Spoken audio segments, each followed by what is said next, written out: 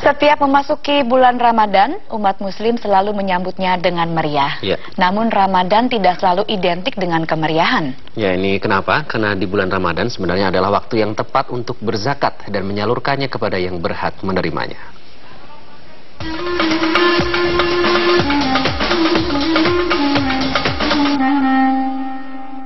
Dipersembahkan oleh, didukung oleh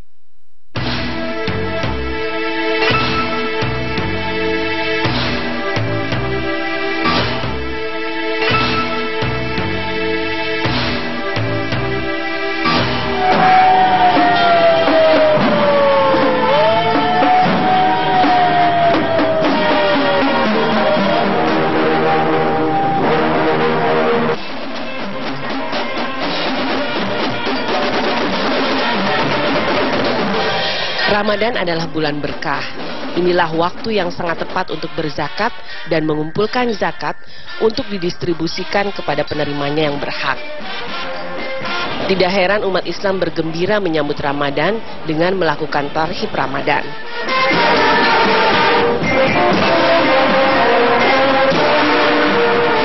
Mereka berkeliling kota mengumandangkan bahwa bulan Ramadan sudah datang.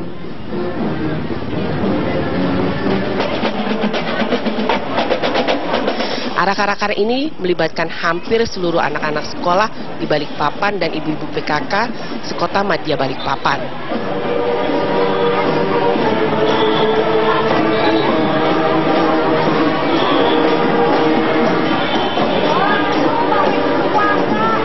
Bagi pemerintah kota Balikpapan, target Ramadan tahun ini adalah mengalirkan dana zakat bagi dunia pendidikan dan kewirausahaan mandiri.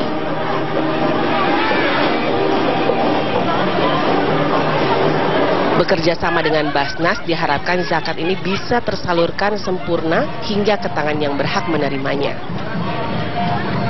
Ya, kita bekerja sama dengan Basnas dan lembaga ambil zakat lainnya sama-sama bersatu baik dalam hal pencatatan, pengelolaan dan sebagainya sehingga ini betul-betul uh, bisa diakui dan bisa valid dan bisa sesuai dengan harapan masyarakat. Jadi dari uh, jajaran pegawai negeri kita sudah menyisikan satu bulan dua setengah persen, kemudian DPR juga begitu sehingga ini memberikan contoh kepada masyarakat kita lebih dulu dari masyarakat sehingga masyarakat juga mau ikut bersama-sama melakukan pembayaran atau penunaian zakat.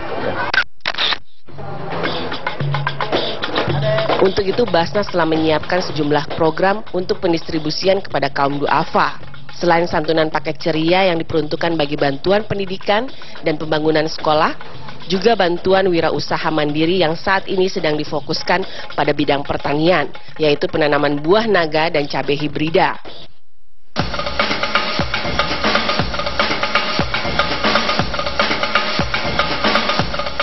Bantuan wirausaha ini bukan hanya diberikan modal, tapi juga pendampingan hingga proses akhir pada penjualan. Kami memang uh, sudah berencana jauh-jauh hari bahwa dana zakat yang dikelola oleh Badan Amil Zakat Nasional Kota Balikpapan ini harus produktif.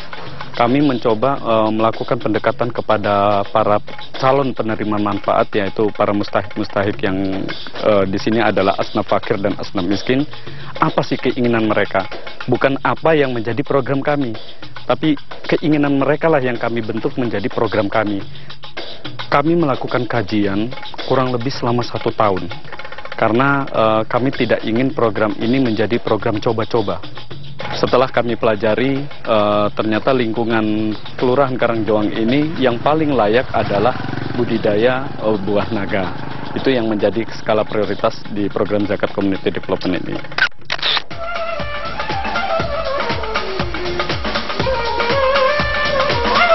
Dari tahun ke tahun pemberian zakat terus meningkat. Bahkan Balikpapan sudah termasuk dalam kategori kota mandiri dan kota yang paling dicintai oleh masyarakatnya.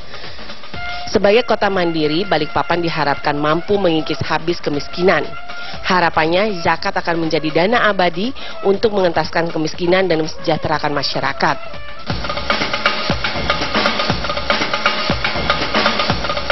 Untuk itu berbagi walaupun sedikit akan sangat bermanfaat bagi penerimanya.